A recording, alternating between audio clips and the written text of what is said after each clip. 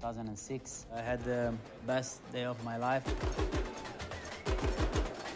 Racing uh, in Formula One, in Ferrari, uh, it's like a dream come true, definitely. Go, Raikkonen on the right, Massa on the left. The Brazilian Grand Prix of 2006 is underway.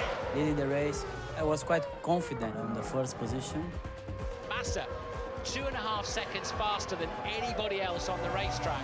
He comes across the start finish line now,